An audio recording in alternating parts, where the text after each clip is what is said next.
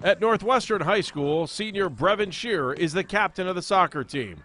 He's one of the top defenders for the Huskies, and hard work on defense is what makes the coaches take notice of Shearer. Quietly leads by example and outspoken when he needs to be, but but really sort of the glue glue of the defense is how I consider him.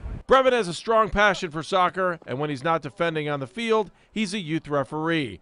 But his passion for academics is just as great, with a 4.0 GPA as a member of National Honor Society. I want to do the best I can in high school to prepare myself for college.